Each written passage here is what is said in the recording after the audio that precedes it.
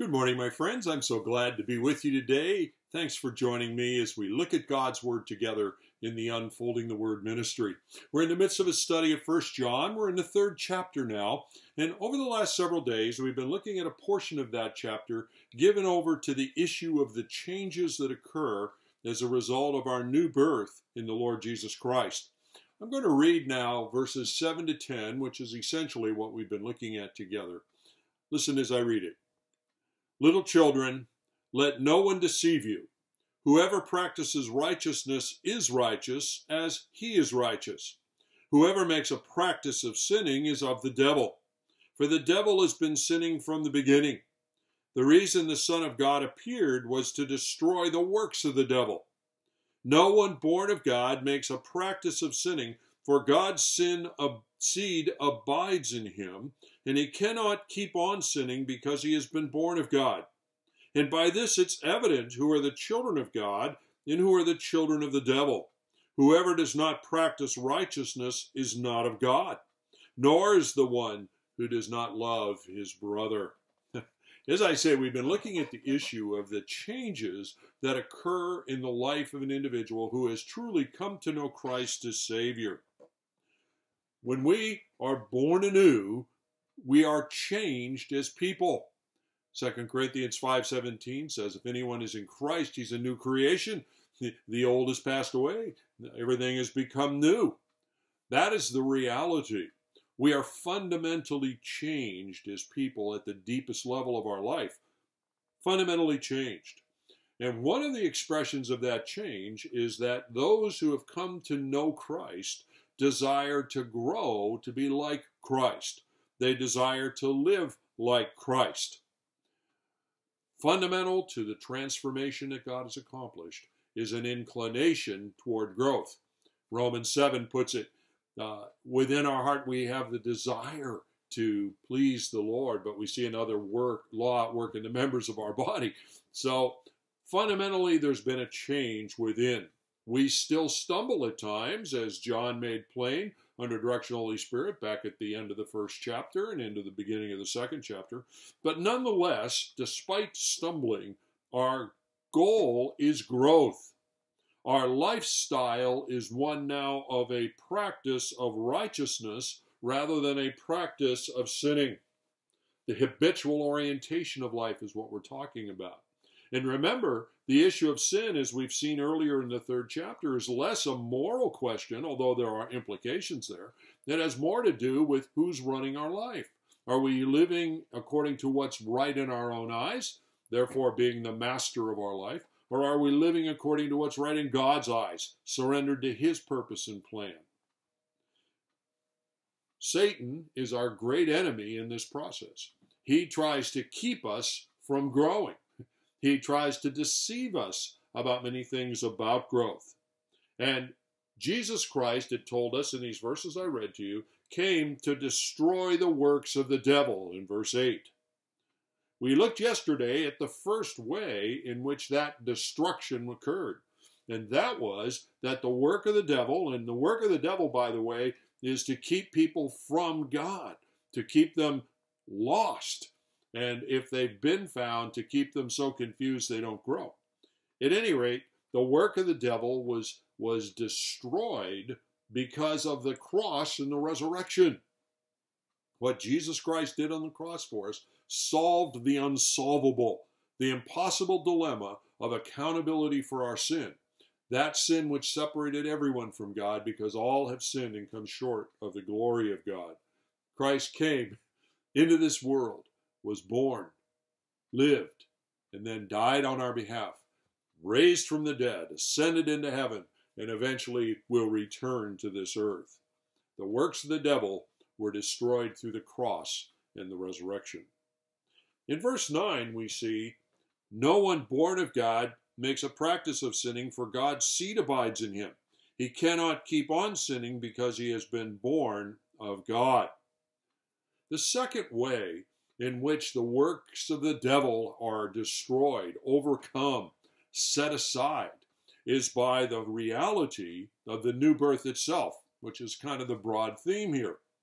Repentance and faith in the gospel leads to a new birth. We become born anew, as John chapter 3 puts it, and we become new creations, as 2 Corinthians 5 17, that I already quoted to you, puts it. The point of it all is that in response to repentance and faith, God transforms those who place their faith in the Lord Jesus Christ. He already, under this first issue of the cross and the resurrection, he delivers us from the accountability of our sin, which is a wonderful, wonderful outcome. But now we're learning that he also delivers us from the captivity of sin, because the new birth fundamentally changes the equation of our life. Let's pick this up a little bit further. He tells us here that this new birth in our life involved the planting of God's seed within us. The word seed, as we encountered in verse 9, uh, is the Greek word sperma. Uh, think of seed in the sense of a garden variety seed. You know, you plant the bean seed in the ground, a bean plant emerges. God has planted a sperma in us. The new nature, the new seed of the new nature has been planted in us when we repent and believe.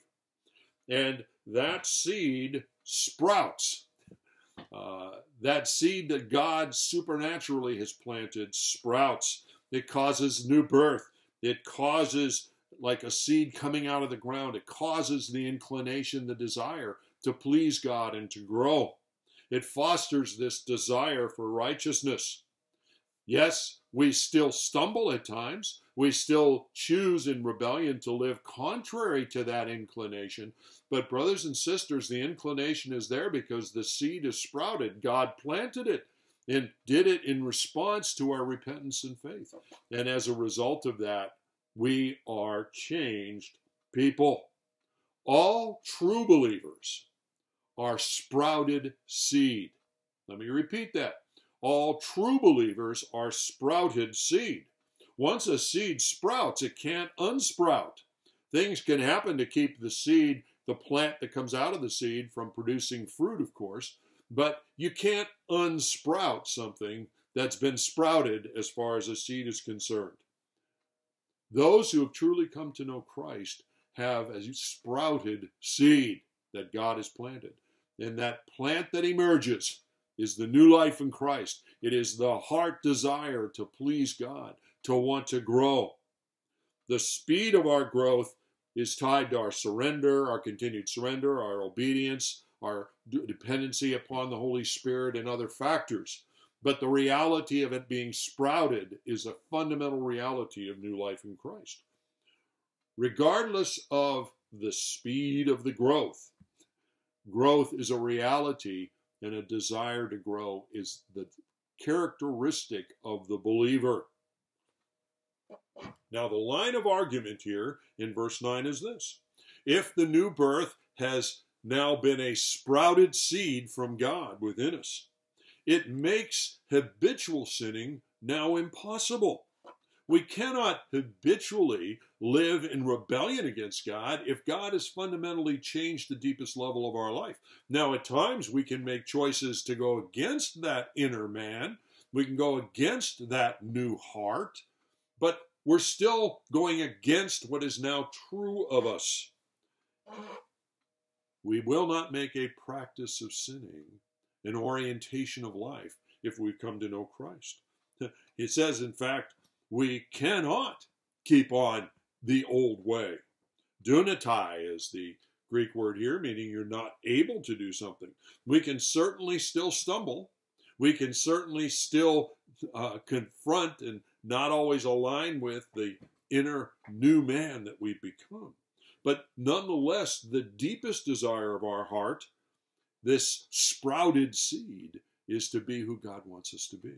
And here's the point, brothers and sisters the most miserable people in the world are redeemed believers who spend their time fighting the deepest inclination of their life.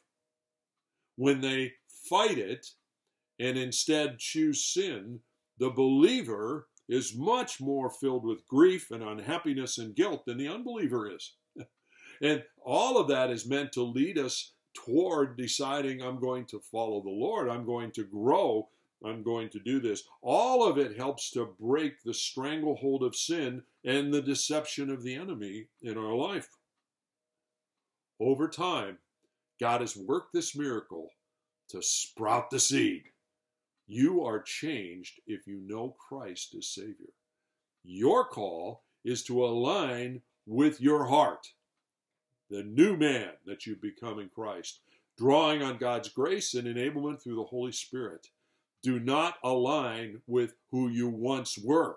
Do not align with the old man, the sin that's there. Align with the sprouted seed. You've been fundamentally changed.